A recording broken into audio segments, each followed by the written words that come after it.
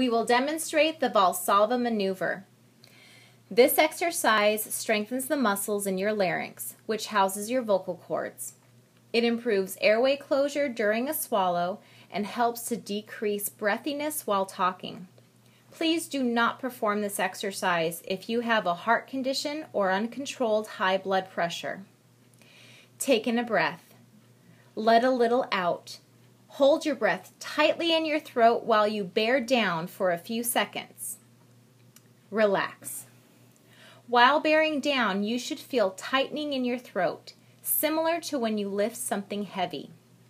Bearing down can be achieved several ways pushing on the palms, pulling on the fingers, pushing on the arms of a chair, pulling up on a chair, or if you need a little extra help, use a tennis ball or stress ball between the palms. So let's try this exercise again. Take a breath. Let a little out. Hold your breath tightly in your throat and push or pull. Relax. Repeat 5 to 10 times as prescribed by your speech therapist.